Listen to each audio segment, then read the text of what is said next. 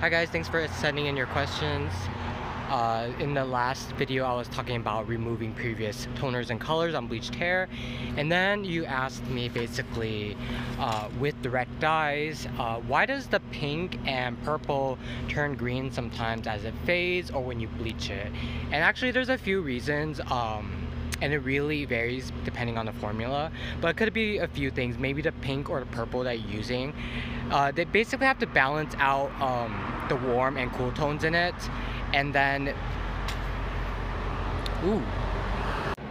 But yeah the um, basically if you look at the ingredient list you can actually see what dyes they use and you can search it if you're curious but uh, usually they have some violets some reds and then some blues to kind of make a pink even if it's pastel pink or if they make a purple. Not all of them contains that if it's going to be on a warmer side maybe it's only reds. But actually um, some acid reds or basic reds uh, when it comes in a powder form sometimes it is actually green.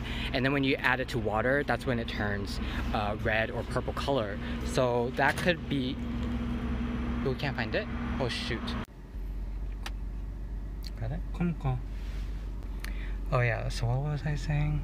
Oh yeah, so the basically the pigment in it can change depending what it is. So sometimes it's just the actual material it uses. It starts out greenish, like muted green, and it turns to a red or purple um, when it's in aqueous solution or it could be pH dependent. There are actually some pigments or dyes that actually change tonal ranges depending on the pH.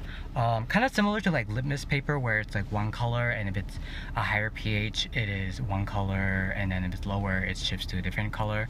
I have seen it where like I'll get a direct dye and then I would change the pH of it with um, a different ingredient like triethanolamine or something uh, and then it would change colors. So it would be like a red direct dye and I'll add it and it'll turn purple.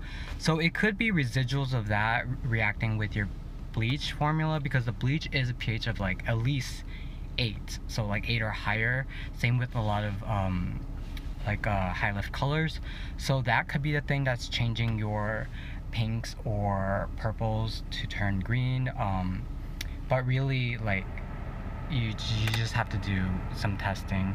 Uh, yeah, that one that one's a hard one. Um, I feel like older formulas that you know like direct dyes that are made like over 10 years ago, um, those tend to lean towards fading green more. But um, I try to find reds and purples that are not blue based, uh, just so it doesn't fade green.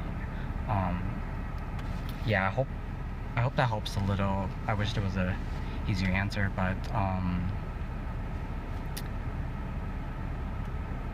yeah, I don't know. Sorry. Good luck.